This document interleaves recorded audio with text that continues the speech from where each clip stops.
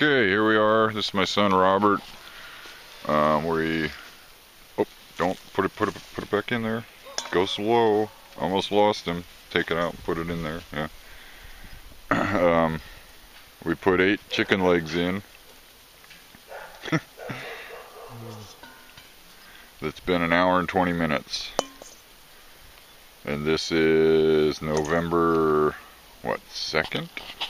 Go ahead and pull it out now. So, whoa, it's trying to get away.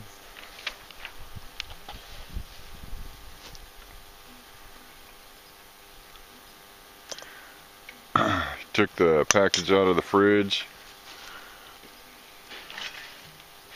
Opened it up. Threw some barbecue sauce on them.